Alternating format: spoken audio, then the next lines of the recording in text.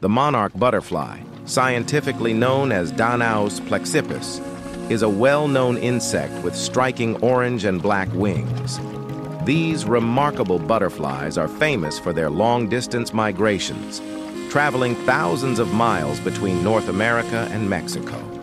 They rely on milkweed plants for their caterpillar's food and are admired for their role in pollination.